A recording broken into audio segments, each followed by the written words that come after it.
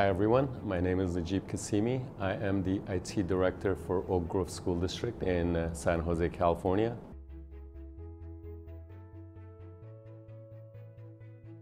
By putting uh, our equipment and devices in a lease program, we had a very predictable funding available uh, for uh, those items or those equipment.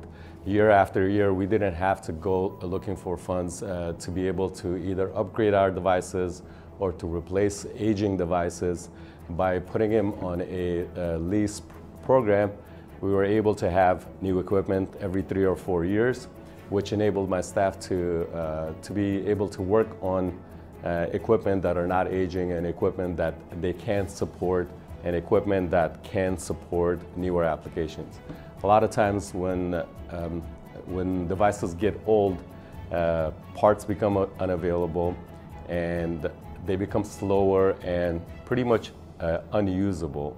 And uh, uh, what happens is that you're trying to get your staff to do new tasks, use new applications with devices that are five or six years old, and that, uh, that's, that's not really a lot of times possible. So you end up having a lot, a lot more issues in that uh, scenario than if you were to have replacement every so often.